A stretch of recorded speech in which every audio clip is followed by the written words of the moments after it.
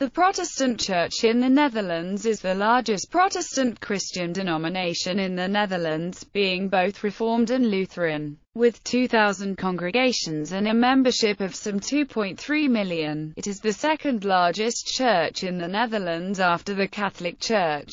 Historically the various Protestant churches had collectively formed the largest Christian denomination in the country with about 60% of the population being Protestant in the early 20th century, but religiosity drastically declined after the 1960s. It is the traditional faith of the Dutch royal family, a remnant of the Church's historical dominance. The PKN was founded 1 May 2004 as the merger of the Dutch Reformed Church, the Reformed churches in the Netherlands and the Evangelical Lutheran Church in the Kingdom of the Netherlands. The merger was the culmination of an organizational process started in 1961. Doctrine and practice The doctrine of the Protestant Church in the Netherlands is expressed in its creeds. In addition to holding the Apostles', the Nicene and the Athanasian creeds of the Universal Church, it also holds to the confessions of its predecessor bodies. From the Lutheran tradition are the unaltered Augsburg Confession and Luther's Catechism. From the Reformed, the Heidelberg and Genevan Catechisms along with the Belgic Confession with the Canons of Dort.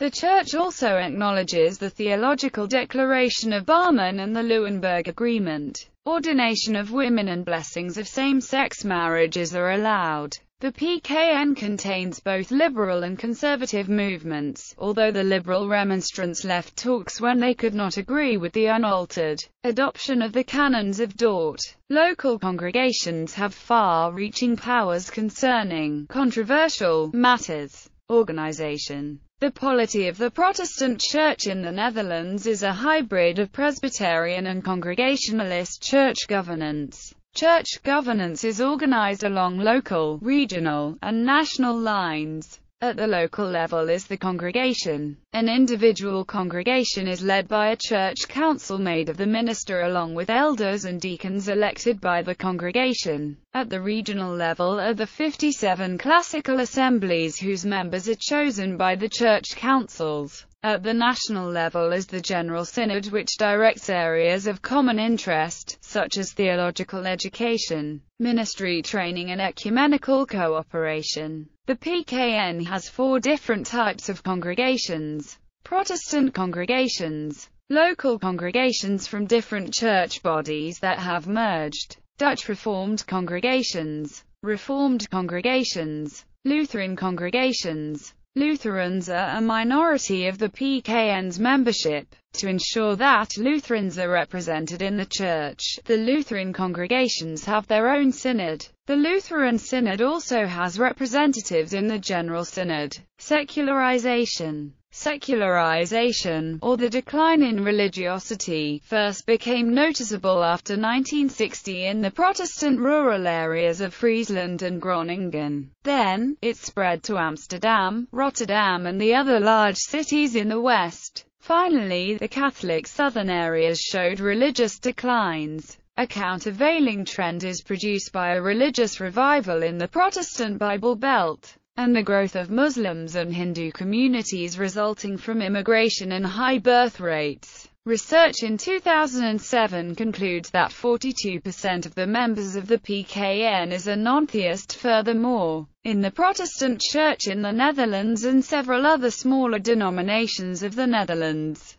one in six clergy are either agnostic or atheist. A minister of the PKN, Klaas Hendrikse has described God as a word for experience, or human experience, and said that Jesus may have never existed. Separations only those congregations belonging to the former Reformed churches in the Netherlands have the legal right to secede from the PKN without losing its property and church during a transition period of 10 years. Seven congregations have so far decided to form the continued Reformed churches in the Netherlands. Two congregations have joined one of the other smaller Reformed churches in the Netherlands. Some minorities within congregations that joined the PKN decided to leave the church and associated themselves individually with one of the other Reformed churches. Some congregations and members in the Dutch Reformed Church did not agree with the merger and have separated. They have organized themselves in the Restored Reformed Church.